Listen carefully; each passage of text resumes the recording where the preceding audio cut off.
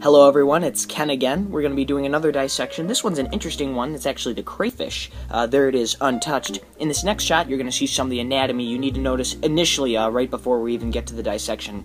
We have the third maxillipede, the walking legs, and the swimmerets, which are uh, important things to know right off the bat. I had them highlighted for you. Funny thing about the swimmerets is, they're also going to be used to uh, protect the eggs uh, when the female is pregnant. In the next shot, we also have... Um, important things like uh, the thorax, the abdomen, uh, the uh, few words I can't even describe, uh, and of course the head and the compound eyes. Uh, once you do uh, cut that open, um, we're going to be seeing the heart, the gills, and the stomach underneath in kind of the midsection.